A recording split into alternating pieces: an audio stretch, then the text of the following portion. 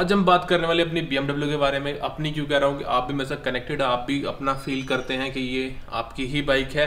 इसके बारे में बात करने वाले हैं। पहले कमेंट आया था कि आप अलग अलग वीडियो में मेंशन कर रहे हैं छोटी छोटी चीज़ें। आप एक कंप्लीट वीडियो बनाइए जिसमें सब कुछ मेंशन करें तो मैं सोचा कि एक कंप्लीट वीडियो जाता है। और वैसे भी लॉकडाउन हो रहा है तो काफ़ी अच्छे वीडियो आइडिया था जो मैं अब एग्जीक्यूट कर रहा हूँ। Hopefully you will like it so what's up back video चलिए, शुरू करते हैं। सबसे पहले आउटसाइड की बात करते हैं सीट काफ़ी कंफर्टेबल है जेल वाली सीट होती है, वो वाली है। ऊपर से जो कवर चढ़ा है, वो वाटर प्रूफ है बट स्किड नहीं होता है। जैसे कि आप देखते हैं, काफ़ी रफ टच है, जिससे कि आप स्किड होकर आगे पीछे कम जाते हैं। और कटी हुई नहीं है मतलब दो सेक्शन में बटी हुई नहीं है सिंगल एक सीट है, लंबी वाली। एग्जॉस्ट के बारे में मतलब स्ट्रोक एग्जॉस्ट है, मैंने चेंज नहीं कराया, क्योंकि यार इंडिया में हो रही है दिक्कत, चलान बहुत कट रहे हैं तो एग्जॉस्ट चेंज कराना आई थिंक नोट वर्ती और वैसे भी एडवेंचर बाइक में वो साउंड आपको मिलता ही नहीं। जो आपको एक सुपर स्पोर्ट्स बाइक में मिलता है तो उसमें कोई वर्क करता भी नहीं है, एक सिंगल पैनी भी, और इसके एग्जॉस्ट काफ़ी एक्सपेंसिव आते हैं मिनिमम आप भी इन्वेस्ट करना है देख रहे हैं सेवेंटी फाइव से वन लैख के अराउंड देखेंगे, फिर आपको रिज़ल्ट भी इतना अच्छा नहीं मिलने वाला है। बाइक थोड़ी डर्टी है, मैंने भी वॉश नहीं क्योंकि मुझे पता मैं, मुझे बाहर नहीं जाना है। पानी वेस्ट करने से कोई फ़ायदा नहीं मैंने कवर अप कर दिया था कवर मुझे काफ़ी मुश्किल से मिला। कि मैं पहले यूज़ टू नहीं था कवर करने के लिए, काफ़ी फ्रीक्वेंट यूज़ करता हूँ। मैंने करीबन एट थाउज़ेंड किलोमीटर मैंने चला दिए तो मैं काफ़ी लाइक काफ़ी रेगुलर हूँ बाइकिंग में रेगुलर जाता रहता हूँ तो कवर अप करने की ज़्यादा मुझे ज़रूरत पड़ती नहीं है। जैसे कि आप देख सकते हैं, यहाँ पैनल्स के लिए माउंटिंग लगी हुई है, यहाँ टॉप बॉक्स के लिए माउंटिंग लगी हुई है, और यहाँ पे देखते हैं तो ये ऑफ़ रोडिंग पैग लगे हुए हैं, जिससे पैर स्लिप नहीं करता है। मैंने एक एक्स्ट्रा खर्चा किया बाद में बाइक लेने के बाद, कि मैंने साइड स्टैंड शू लगवा दिया, जिससे कि ये स्लिप ना करे डिगिन ना हो।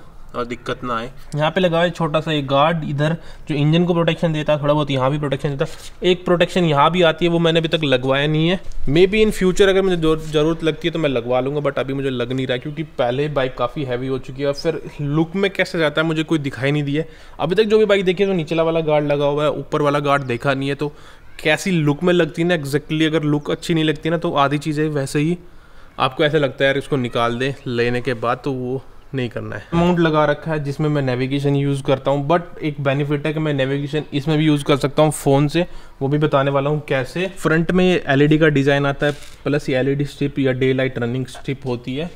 और मैं इसको स्टार्ट करता हूँ तो देखो ये स्ट्रिप आ गई है लाइट ऑन हो गई है, और ये स्ट्रिप आ गई है। लाइट वैसे ऑटोमेटिक है टनल में जाते हैं लाइट ऑटोमेटिकली ऑन हो जाती है। और जो विंड स्क्रीन है, वो भी एडजस्टेबल है, जैसे कि आप देख रहे हैं। मैंने थोड़ा एक्सटेंड करके देखा था कि एक्सटेंशन के बाद बाइक कैसी लगती है तो सबने रिजेक्ट कर दिया। मुझे भी इतनी कंफर्टेबल नहीं लगी तो मैं इससे एक्सटेंड नहीं करने वाला हूँ। बिल्कुल भी। साइड में विंड की प्रोटेक्शन देखिए, जो काफ़ी हेल्पफुल है। इंडिकेटर एलईडी वाले हैं। महँगी बाइक लेने के बाद भी अगर एल नहीं आते हैं तो दुख होता है काफ़ी ज़्यादा। दो इलेक्ट्रॉनिक चीज़ें आती हैं एडजस्ट करने के लिए, जैसे सस्पेंशन एडजस्ट करता है। ये क्विक शिफ्टर है, जिससे गेयर अप एंड डाउन दोनों कर सकते हैं। काफ़ी यूज़फुल है। क्लच लेस परफॉर्मेंस मतलब मस्त एकदम से है ना लॉन्ग राइड पे काफ़ी हेल्पफुल होता है क्योंकि क्लच दबा दबा के आप काफ़ी और परेशान हो जाते हैं और बिना क्लच के काम चल जाए तो क्या बात है। प्लस फ्रंट में देखेंगे यहाँ पे डैम्पनर है जो कि काफ़ी यूज़फुल है। लाइक इसे वोबल वगैरह नहीं करती है। मैं स्विच ऑन कर देता हूँ जैसे कि आप देखते हैं जी एस लेके लिख के आ रहा है बट जी एस ए है मेरी बाइक जी एस ए मतलब होता है कि जी एस मतलब होता है ऑन रोड ऑफ़ रोड और ए मतलब एडवेंचर तो on road off road adventure plus इसमें एक्स्ट्रा टैंक आता है, काफ़ी एक्स्ट्रा फीचर्स आते हैं फुली लोडेड आती है एक तरह देखें तो आप। इसमें दो, वैसे दो मॉडल आते हैं स्टैंडर्ड एंड प्रो प्रो वाला मॉडल है, जिसमें सारे फीचर्स आपको अवेलेबल होते हैं। बैक टू स्क्रीन जैसे कि आप देखते हैं कि यहाँ पे मेन्यू को यहाँ से टोगल करना पड़ता है, और ये व्हीकल में आ गए, आप नेविगेशन जैसे मैं फ़ोन कनेक्ट करूँगा, आ जाएगा मीडिया और टेलीफोन कनेक्ट होता है सेना कनेक्ट करूँगा, जो मेरे पास है इंटरकॉम या कोई भी इंटरकॉम से आप कनेक्ट करते हैं। अब यहाँ पे व्हीकल सेटिंग आती है लाइट्स एंड एंड्यूरो प्रो वाला जो मोड है, आप यहाँ से कैसे एडजस्ट करते हैं। बाकी सिस्टम सेटिंग्स हैं, कनेक्शन सेटिंग्स हैं, यहाँ से मैं अपना मोबाइल कनेक्ट कर सकता हूँ, राइडर हेलमेट कनेक्ट कर सकता हूँ। तो पहले मैं अपना मोबाइल कनेक्ट करता हूँ, उसके लिए मुझे ब्लूटूथ ऑन करना पड़ेगा। I C C six point five inch six point five inch screen है तो काफ़ी अच्छी स्क्रीन जैसे लिख के आ गया मोबाइल डिवाइस कुलदीप यादव तो बैक जाते हैं। तो जैसे कि आप देखेंगे, यहाँ पे नेविगेशन का ऑप्शन आ जाएगा। नेविगेशन ऑप्शन के लिए मुझे बीएमडब्ल्यू की ऐप डाउनलोड करनी पड़ेगी। जैसे आप देख रहे हैं फ़ोन कनेक्ट किया नेविगेशन का ऑप्शन आ गया तो इसको नीचे स्क्रॉल करते हैं। ये मैप डाउनलोड हो रहा है, उससे पहले जैसे राइड्स मैंने इस मैप को यूज़ नहीं किया है। सर्विस ड्यू भी दिखा रखी है, कब सर्विस ड्यू होने वाली है, कितने किलोमीटर रह गए हैं। नेक्स्ट टाइम ज़रूर बताएँगे आपसे, बाकी पैसेंजर का हेलमेट भी कनेक्ट हो जाता है, यहाँ पे नीचे जाके। अगर आप कनेक्ट करना चाहें तो बाकी कनेक्शन डिलीट होने का ऑप्शन भी इधर से मिल जाता है। अभी बाकी माई व्हीकल की सेटिंग्स में जाके देखते हैं कि और क्या क्या अवेलेबल है। तो पहले माई व्हीकल आता है, कितने किलोमीटर यानी फ्यूल की रेंज दिखा रहा है बैटरी का चार्ज दिखा रहा है, कितना टेम्परेचर है टेम्परेचर दिखा रहा है। बाकी जो वेदर है, जो नॉर्मल जो अपना टेम्परेचर होता है, वो ये थर्टी टू डिग्री सेल्सियस तो काफ़ी प्लेजेंट अभी भी दिल्ली में। ये आवाज़ ब्रेक आप इसके अकॉर्डिंग अपने अकॉर्डिंग एडजस्ट कर सकते हैं। ट्रिप है ये ट्रिप टू ट्रिप वन ये ऑन बोर्ड कंप्यूटर की ट्रिप वन टू और सर्विस इंटरवल जैसे उसमें दिखाया था कि यहाँ भी दिखा दिया है। अभी वापस चलते हैं मेन मेन्यू में।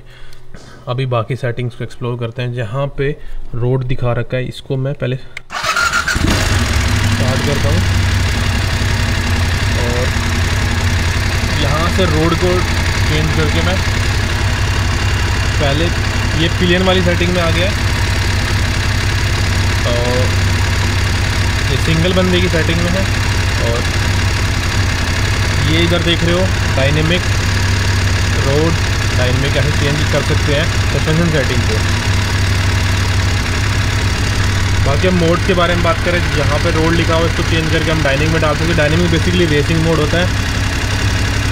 Enduro mode rain mode and road mode in depth जाते हैं। रोड मतलब बेसिकली आप रोड नॉर्मल रोड पे चल रहे हो हाईवेज पे चल रहे हो। हाईवेज पे आप डायनेमिक भी यूज़ कर सकते हैं एक्सप्रेस पे डेफिनेटली डायनेमिक यूज़ कर सकते हो। इसमें पावर डिलीवरी काफ़ी अच्छी हो जाती है, जल्दी क्विकली रिस्पॉन्स करता है, मज़ा आता है चलाने में बट सस्पेंशन थोड़ा स्टिफ हो जाता है। एंडोरो मोड आता है, अब एंडोरो प्रो हो गया, इसमें मैं एडजस्टमेंट कर सकता हूँ अपने अकॉर्डिंग सस्पेंशन को एडजस्ट कर सकता हूँ पावर डिलीवरी को चेंज कर सकता हूँ मतलब बेसिकली इसको सेटअप कर सकता हूँ अपने अकॉर्डिंग और बाकी अब इसके बाद आता है रेन मोड रेन मोड में ट्रैक्शन काफ़ी ज़्यादा बढ़ जाता है क्योंकि रेन में आपको ट्रैक्शन की ज़रूरत पड़ती है। आप ब्रेकिंग करते हैं एबीएस फुल्ली वर्क होता है सस्पेंशन भी सेटिंग चेंज हो जाती है उसके अकॉर्डिंग एंड्यूरो प्रो में एक बात बताना भूल गया मैं एबीएस रेयर वाला एबीएस स्विच ऑफ़ हो जाता है ट्रैक्शन कंट्रोल में भी चेंजेस आ जाते हैं उसके अकॉर्डिंग ट्रिप को भी चेंज कर सकता हूँ trip one trip two average दिखाता है पर हंड्रेड किलोमीटर कितना लीटर तेल लग रहा है, उसके अकॉर्डिंग